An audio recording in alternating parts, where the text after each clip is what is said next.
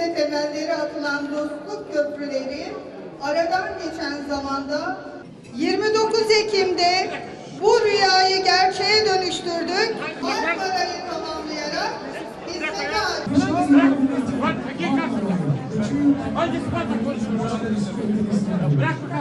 Japonya Başbakanı Sayın Shinzo Abe'nin açılışa katılması, bu tarihi günü bizimle paylaşması mutluluğumuza mutluluk katmıştır.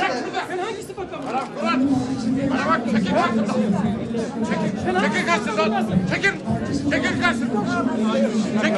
Terbiyesizleşme burada. Sen terbiyesizsin. Serbestleşme. Sen terbiyesizsin lan. Çık, lan. Kendisine buradan bir kez daha teşekkür ediyoruz. Başbakanın içi konuşuyor. Sen nasıl konuşuyorsun burada? Sen kimsin? Çık şuradan. Bir Japon halkını Türkçemizdeki o etkileyici deyimle kara gün dostu görmekteyiz.